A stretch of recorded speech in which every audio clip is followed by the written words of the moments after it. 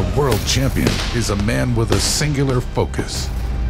Yeah, the sweat, all the blood. It's for my family, man. Nobody's taking that belt from me. Nobody. Oh, huge right hand by Lima. The head kick knockout. Oh, man, that's brutal. Oh, big Douglas knee. Lima is Bellator's welterweight world champion. That kid's a beast.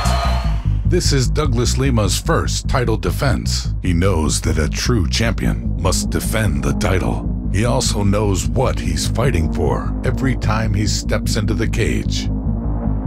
I was 11 years old when I came to America. We came from Brazil.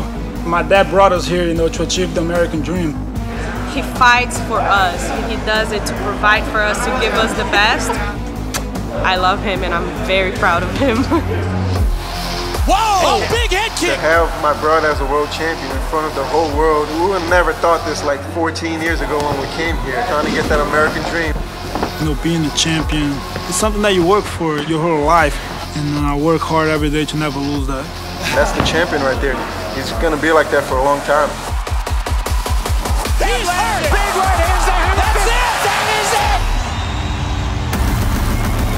Tonight, Lima will meet a Russian knockout artist who can match him strike for strike.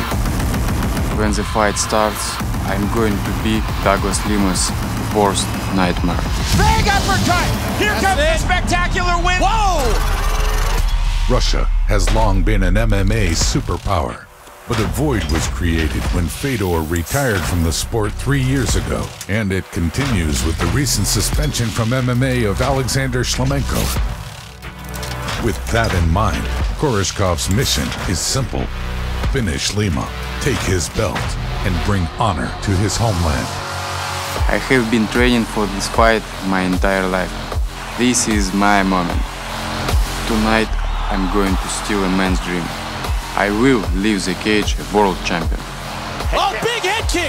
No one's stealing my dreams. Oh, good right hand! That is I it! want to give him a war, but a one-sided war. You know, that's the game plan for me. A corner stoppage. Doesn't matter who it is, man. You ain't taking that belt from me.